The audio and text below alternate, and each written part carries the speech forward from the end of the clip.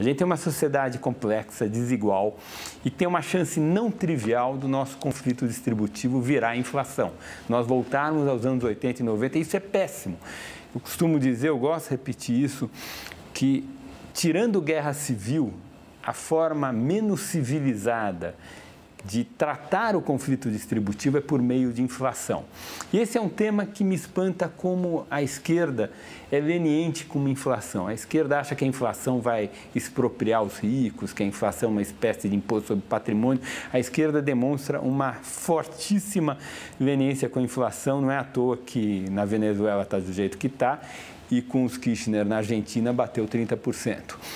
Né? A inflação, a experiência brasileira é que é um imposto a médio prazo regressivo e que quem paga mais são os mais pobres. Não precisa de muito conhecimento sobre a experiência nossa para se convencer desse fato.